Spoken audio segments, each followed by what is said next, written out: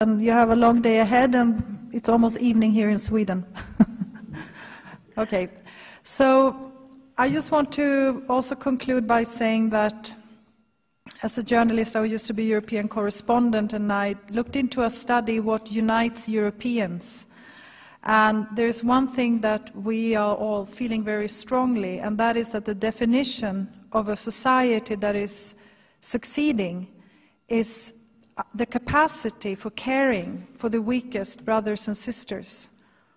This is not the case as strongly in the US, which has a different philosophy where, you know, every, everyone more fends for themselves. But this is truly something that unites us. And my, my experience with Africa is that it's truly many societies that have this incredibly strong sense to uh, caring for the next. So I think that there is something ongoing here which is incredibly civilized, I think, is the most beautiful word I can find for that. So I want to thank you all for sharing today. I know this has been documented thoroughly. And I don't know if the organizers, do you want to say something? It's an end conclusion, or how will this be documented in a. Do you want to?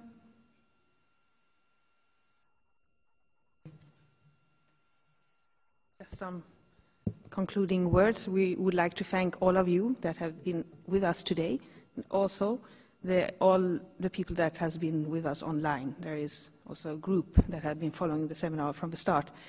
Uh, all this will be documented. You will find this uh, seminar. It's webcasted. It's already on the video. It's already on our web page. So uh, you can go into www.siani.se.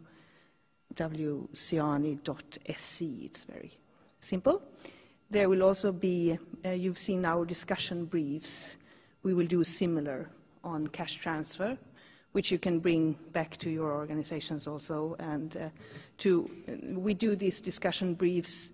They are not to, to open up for discussion in, in different forums, and we would like the learnings from this seminar also to be brought out to wider forums and discussed further. And yeah, that's more or less it about the documentation.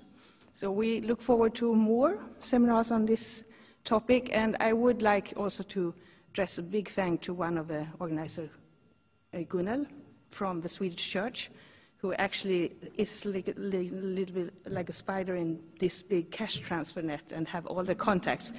And I can tell you, she has been dedicating day and nights to this seminar also. So a big thanks to the Swedish Church, who has been very active for this work. Yeah.